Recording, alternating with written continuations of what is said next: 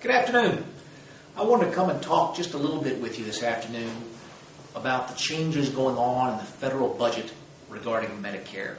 Uh, you know, we're in a budget battle in Washington, D.C. that really is about the future of this country. $1.4 trillion a year in deficit spending, 14.3 trillion in debt we're passing along to our children and our grandchildren. Uh, that all happened uh, before I came to Congress, perhaps before uh, you began uh, voting. But it's on our plate now, and we have to sort these issues out. I'm very proud to have supported a plan. It was the Republican budget uh, plan. It was drafted by Congressman Paul Ryan in the Budget Committee, on which I sit.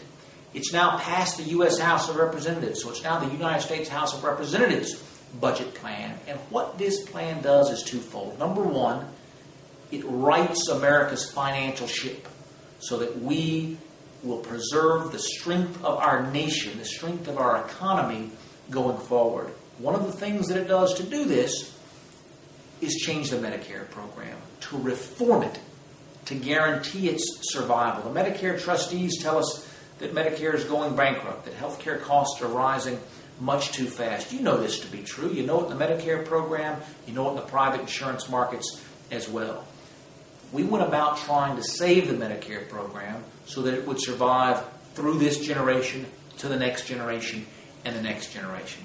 To do that, we did a couple of things. First, for people aged 55 and older, we said nothing will change for you. That wasn't an easy decision uh, to make. It's going to cost a lot of money to continue the program as it is today, but we thought it was important to keep the promises we've made to today's seniors. Keep the promises that we've made to those of you who are counting on the Medicare program for your retirement.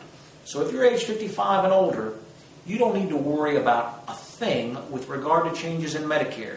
The very same program that existed in Medicare in 2010 is going to be back in 2011, back in 2012, back for you in your retirement. But for our younger Americans, those under the age of 55, we're introducing choice into Medicare. Choice that will save the Medicare program. For those of you who are on Medicare today, you know about the waste in Medicare. You know about the fraud in Medicare. You know about the, the redundant services, the things that are getting paid for, and you're not quite sure what they were.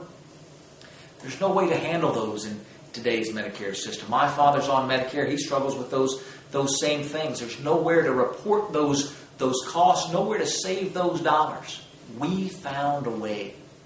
And that's to give future Medicare beneficiaries choice. Let them choose a plan that's best for them, not the one size fits all Medicare program that has all that waste, fraud, and abuse in it, but a special plan tailored just for them. If they need more prescription drugs, choose a plan that has more prescription drugs. If they want more rehabilitative services, choose a plan like that. If they need more mental health services, choose that plan.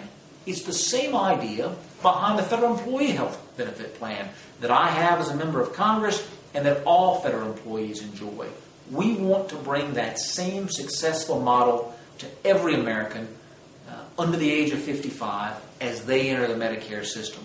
The actuaries tell us this will rescue the program. We know when choice is involved that we will make better decisions with our uh, dollars. That leads to the savings that not only rescue the program from bankruptcy, but also rescue this nation from its certain bankruptcy. If you have questions about anything you've heard in particular about Medicare reform, feel free to contact me. My email address, woodall at Send me a message absolutely anytime. I'm here to work for you. I wanted you to get the answers directly from me. We do this on the budget. We do this on the Medicare, and we're going to do this on other programs in the future. It's a pleasure to serve you. Please let me know how I can serve you better. Thank you.